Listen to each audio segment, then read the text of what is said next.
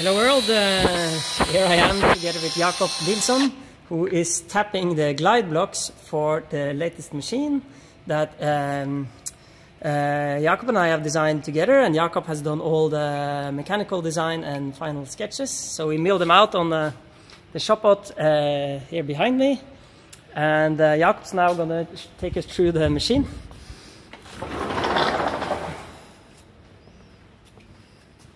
So, it's right now in parts.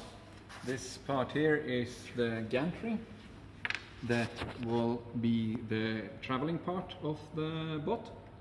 The bed is fixed on this one, contrast to the Hattori version we have made before. Because this, this guy is called Humphrito, since it's a little baby of Humphrey, the, the full-size machine we made in Amsterdam together with Alex Schaub. All motion system parts are made with the rack and pinion system, uh, familiar to all fabricatable machines. This is the pinion, this is the rack.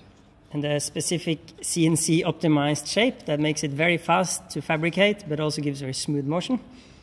Uh, it's a bit hard to see, but what we see here is actually the underside of the, the bed for the machine. Yes. And uh, some of you might have noticed that the sides here are uh, have breakaway tabs. Since this machine comes with Valchromat um, axis, they can be replaced later by breaking off these tabs and putting in uh, some stronger material like aluminium.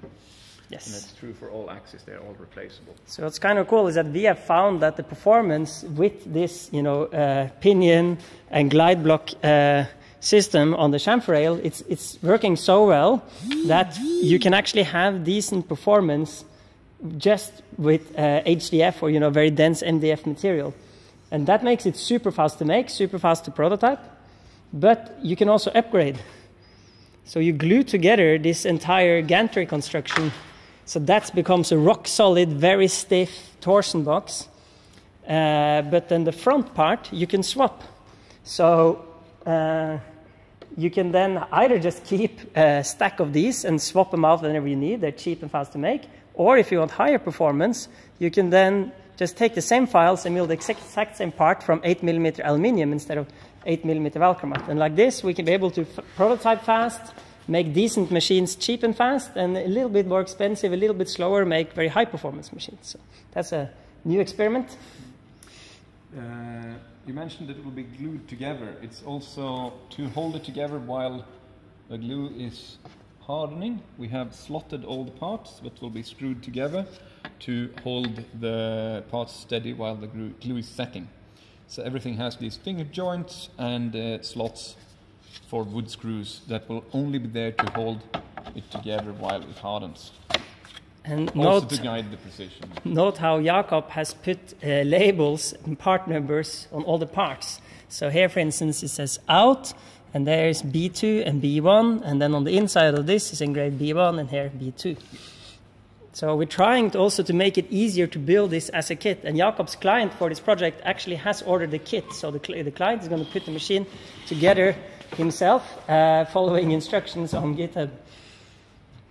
So the underside of the bed here is a torsion box construction.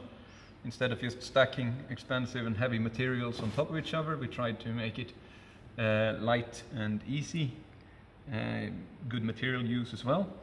So this will become a very, very solid and flat box, uh, very rigid uh, for, for when uh, we have large milling forces. Uh, the replaceable part on top will be a spoil board, which will be replaced as you mill it down, but this always remains. And this tapered shape, that's because uh, we're actually hoping this machine can work vertical as well. So we are having it standing up and the gantry fighting gravity, then it can have a very small footprint. So it's also a first prototype and a, a beta test for this. So that's the video walkthrough for now. Stay put uh, for uh, first Hello World milling job soon.